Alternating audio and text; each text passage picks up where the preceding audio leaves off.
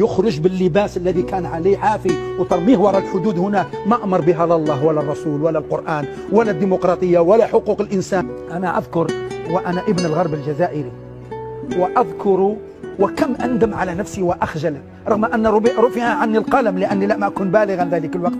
يعني ربما كنت صغير وكذا عندما فتحنا أعيننا وبيوم العيد الفطر عيد عيد الأضحى وأنا أسكن هنا في الغرب الجزائري في ولاية بين تلمسان وبالعباس. إخواننا الذين درسوا معنا ولعبنا معهم والصيبة قضيناه مع بعض. شوف يعني قرار أهوج.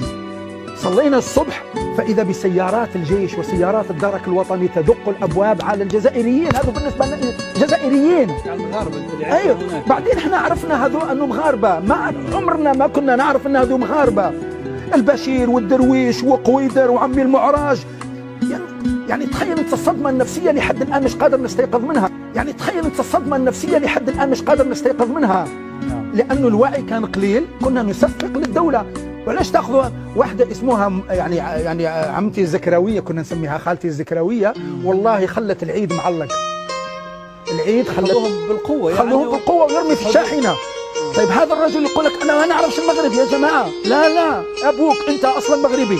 يا ودي أنا مولود هنا في المباديس مولود في تموشنت مولود في سيدي بالعباس مولود في تلمسان. أنا هنا في هذه الزراعة وهذه التربة أنا نشأت بها اختلط روحي ودمي بها. كيف كيف تطردونني؟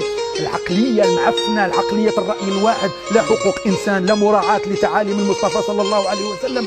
فأنا أذكر في ذلك الوقت فقط يعني كتدليل على أن الرأي الحمد لله معركة الوعي في تصاعد.